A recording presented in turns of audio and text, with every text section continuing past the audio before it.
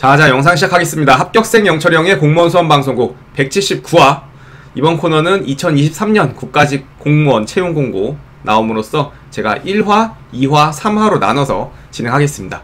그래서 이번 179-1화에서는 N개년치 통계, 제가 행정직구는 9급, 5개년치 선발 인원, 경쟁률, 합격선 다 분석 자료가 있어서 그걸 같이 진행해 보도록 할게요.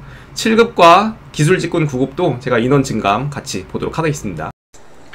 2023년 국가직 채용 인원 공고, N개년 통계와 작년 대비 인원 증감, 전직열, 그 다음에 7급까지 보여드리도록 하겠습니다. 통계 같이 보시겠습니다. 일단 행정직군 일반 모집 보여드릴게요. 교육행정부터 선거행정까지 쭉 확인하시면 되고요. 얼마나 늘었나, 얼마나 선발 인원이 줄었나도 확인 가능하십니다. 그리고 합격 선도 제가 정리를 했습니다. 출원 인원은 전국 일행이 항상 많아요. 음, 항상 이렇게 3만 5천, 4만 이렇게 많이 출원을 하고요. 요 출원 인원이라는 의미는 원서 접수를 얼마나 했느냐입니다.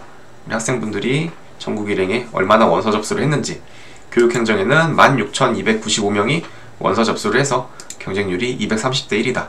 요거를 보여주는 겁니다.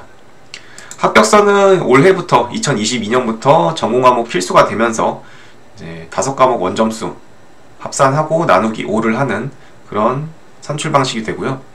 교육 행정이 높습니다. 통계도 가산점 있는 분들이 많기 때문에 이렇게 높고요. 그러면은 통계직이 검찰직보다 더 되기 어려운 거나 이렇게 직접 비교를 할 수는 없습니다. 왜냐하면 이제 통계학, 경제학 이게 필수 과목이 됐고 검찰에서는 형법, 형사소송법이기 때문에 과목마다 난이도 차가 조금씩 다를 거예요.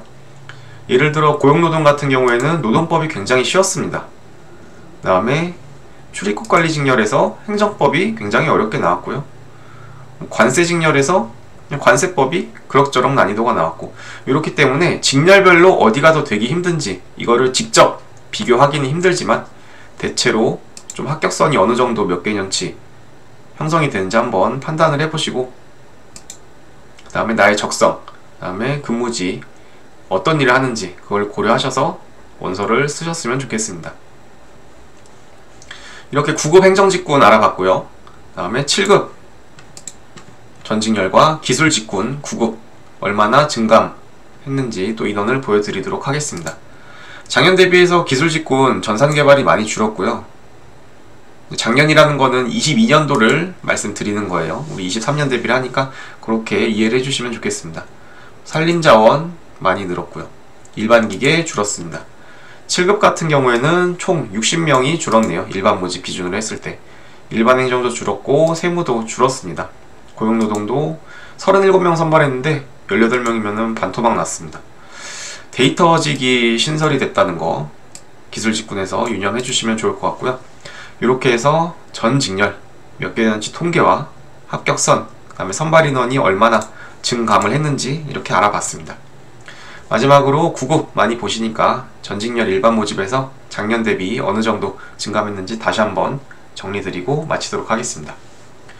TO 많이 기다리셨을 거예요. 특히 지금 고용노동 준비하셨던 분들은 너무 많이 줄어서 고민이 많으실 텐데 어, 이 다음 영상으로 179화 다시 2 여기서도 한번 분석을 해보도록 하겠습니다. 다들 올바른 선택 그리고 열심히 공부하셔서 2023년 국가직 엄청 많이 줄진 않았고 작년 대비해서 좀 줄었는데 고용노동만 많이 줄은 편이고 다른 것도 음, 교정력 이런 것도 줄은 줄은 상황이 보이는데 어, 다들 힘내시고 음, 좋은 결과 있으셨으면 좋겠습니다. 전략이 중요합니다. 이제는 음, 감성뿐만 아니라 이성적으로 잘 판단해서 전략적으로 공부를 하시고 성실하게 해내셨으면 좋겠습니다. 할 수 있습니다. 감사합니다.